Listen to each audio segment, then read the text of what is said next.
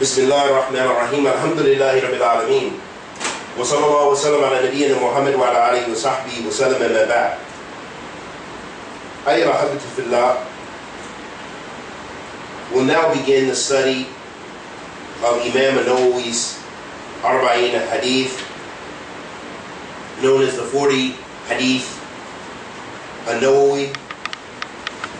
and we already spoke very, very briefly about Imam Nawawi, and just for accuracy, he died 676 Hijri.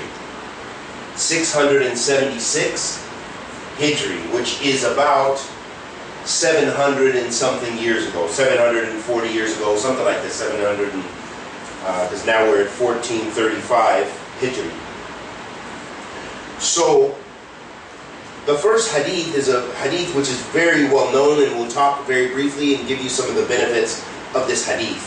Because that's the point of our dars, is to gain the meaning of the hadith and some of the benefits of the hadith.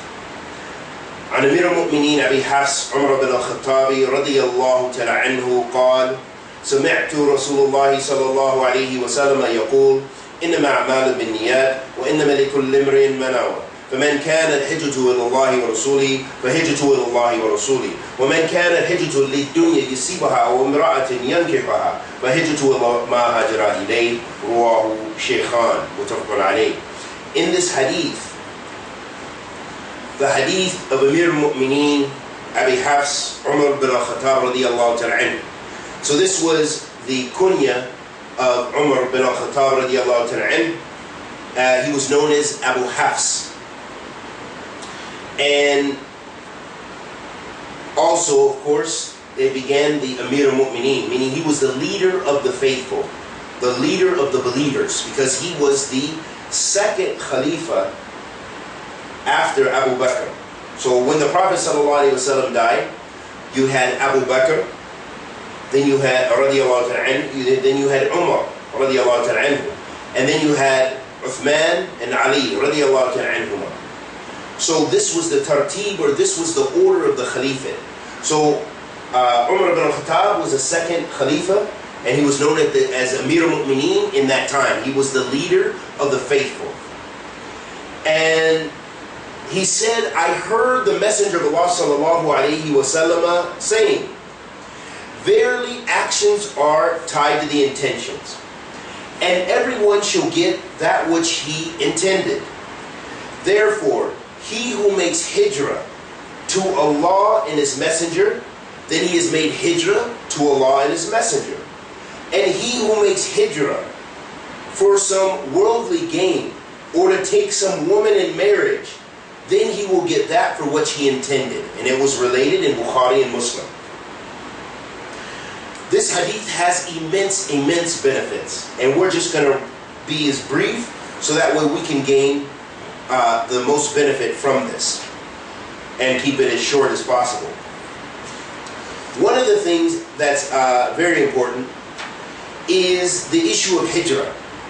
So in this hadith, he talk, the Prophet ﷺ talked about hijrah. And in general, this is the general meaning of the hadith is that whatever action you do in Islam, your reward will be according to your intention. If you seek knowledge, you study Islam and read the books and, and, and study, and you do it to worship Allah subhanahu wa ta'ala, then you'll get reward for it. Because in the ma'amala biniyat, actions are tied to the intentions. Your actions, the things you do, are related to your intentions. Likewise, if you do it for other people, if you seek the knowledge because you want the people to say that you're an alim, to say you're knowledgeable, to say you're a good person, to say you're a talib al-ilm, then your reward will be with the people. Maybe they'll give you money. Maybe they'll give you status. Maybe they will praise you. But then maybe that will take you to the hellfire. Because talib al-ilm is an act of ibadah. And there's a hadith where the Prophet ﷺ said, I think it's the hadith of uh, the hadith of either Abu Huraira, uh, Abu Huraira or Ibn Abbas radiallahu anhuma, in which he said, إن الأول الناس يقضى عليه يوم القيامة رجل استشهد. He said that from the first people on the day of judgment who will be judged by Allah will be a man who was martyred. And then the hadith is a very long hadith. So the man comes before Allah subhanahu wa ta'ala and he will be brought before Allah subhanahu wa ta'ala on the day of judgment and he will be asked, What did you do? And he will say, I fought for your sake. And then Allah will say to him, You lied, but you did it so the people would say you were brave. And the people said you were brave. And then he will be dragged on his face in the hellfire. And this was a man who did jihad. He thought he did it jihad fi but he did it to please the people because the niyyah, the intention wasn't right. The second person was a, uh, the alim, the person who has knowledge. فأتي بي فعرفه نعمه فعرفها قال فما عملت فيها قال قرأت القرآن وتعلمت العلم وعلمتها وعلمته وقرأت فيك القرآن قال كذبت ولكنك فعلت ليقال هو عالم وهو قارئ فقد قيل ثم أمر به فسحب على وجهه ثم ألقي في النار So the second person was the person who, who was brought before Allah on the day of judgment and he was a person who studied the Quran. Maybe he memorized the Quran, a sheikh of the Quran. And he was a person of knowledge. He had knowledge. He was an alim. And the people said, hey, that's an alim. They praised him. But Allah, so Allah asked him, what did he do? He said, I, I read the Quran for your sake. And I taught the people. I, I studied ilm, you know, I taught of ilm, and I taught the knowledge for your sake. And Allah will say you lied. But you did it so the people would say that you were an alim. And the people said it about you and then he will be dragged on his face in the fire. And then the third man was a man who did who had a lot of wealth and he spent it in different ways, in righteous ways, but he did it for the wrong reason and he also was thrown in the hellfire. The point being is that it relates to your niyyah, your intention. So if you give sadaqah to please Allah, you'll get reward. If you give sadaqah to please the people, then you won't get reward for Allah subhanahu wa ta'ala from that. If it was just to please the people. But if you did it as an act of ibadah, you'll be rewarded for that. If you pray to Allah subhanahu wa ta'ala, for Allah subhanahu wa ta'ala, you make your prayer good for Allah, then you'll be rewarded for that. You'll get full reward bi'idhnillah. But if you prayed and you mixed it with riyah, the light shirk, that you did it to show off, then may, then you will not, uh, some of your reward will be taken. And it just depends on the when you made the riyah and did you correct it or not. And this will make a difference whether your prayer is totally batil, your prayer is not accepted, or whether it's accepted. So it depends on your intention. Or it could even turn into the major shirk because it could be worshiping other than for other people. You prayed only for the people. And that what you want to be aware from. The second issue in this hadith is about hijrah. That hijrah in the Sharia, it means to leave the land of disbelief to the land of belief. Or to leave the land of bid'ah to the land of sunnah. Or to leave leave off the haram and come to the halal. This is also a form of hijrah, as the Prophet ﷺ said in authentic hadith. So there are different types of hijrah. As the Prophet ﷺ said uh, in a sahih hadith, he said, sallallahu alayhi wasallam, which means, and I can't find the hadith here, but that the hijrah is uh, leaving uh, leaving the sins. وَالْمُهَاجِرُ مَنْ هَجَرَ مَا نَهَى اللَّهُ عَنْهُ That the muhajir, or the one who makes hijrah, is the person who makes hijrah or he leaves what Allah has prohibited. Okay? So that hadith in, in general referred to it refers to the niyyah. Here's some of the benefits that we gain from this hadith. So I'll write some of these benefits here on the board and you'll be able to see. One of the things that uh, the ulama mentioned from this hadith is that it's permissible to have a kunya, to take a name like me, I'm Abu Abdurrahman. because my oldest son, he's Abdurrahman. So I'm Abu Abdurrahman.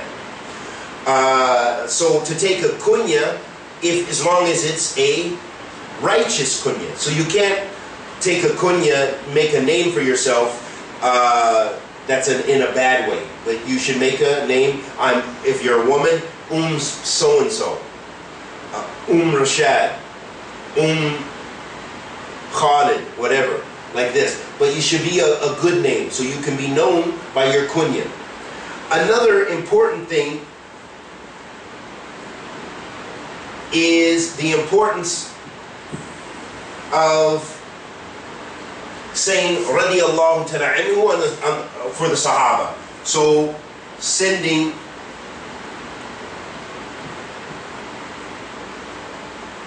prayers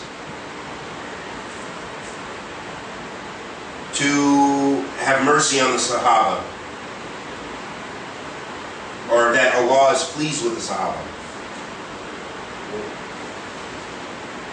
So that means you pray to Allah to sending prayers to this is a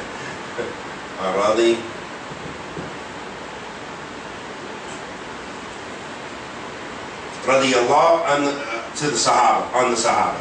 That, that you were making dua for the Sahaba, basically. Okay? That's not as important, but the more important things we'll, we'll, we'll get to. Uh, another thing of this is that your niyyah or your intention is pillar for all deeds. For all deeds. So that means that uh, your intention, your niyyah, it's a pillar because it's one of the ways that you have your deeds accepted. The two ways you have your deeds accepted, and they one comes from this hadith. This is the hadith about the intention, the niyyah is that any act of ibadah that you do, any worship you do to Allah, you have to have ikhlas, you have to be sincere. So intention is a, is a pillar for deeds, meaning sincerity, sincere. Sincere intention, okay? It's a pillar for all your deeds. That's one. The second pillar is that it's mutaba, that you follow the sunnah of the Prophet That's the second intention, for a second um, uh, second pillar of having your deeds accepted. So, for example, if you pray, you have to pray to Allah. Okay, you're praying to Allah for the sake of Allah subhanahu wa ta'ala because He's ordered you to do so. And you're following the Prophet when you pray. You pray like the Prophet. That means you have those two pillars. The two pillars. So the first pillar is intention. You can say like this. It's in tension. And the second pillar is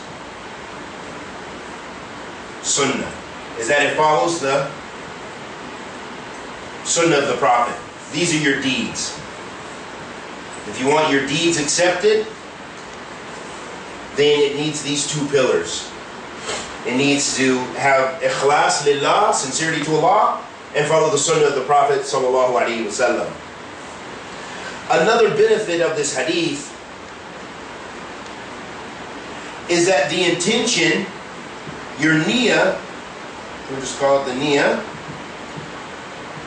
the niyyah is on the tongue. That your niyyah, you don't have to, uh, I'm sorry, your niyyah is not on your tongue, your niyyah is in your heart. Okay? So let me correct that. Your niyyah is in your heart because you don't have to, when you're going to pray, for example, salat, you don't have to say, uh, I'm going to pray four units of prayer of salat al-asr, Allahu Akbar, la. But you have that in your heart. So when you say that on your tongue, that's a bid'ah.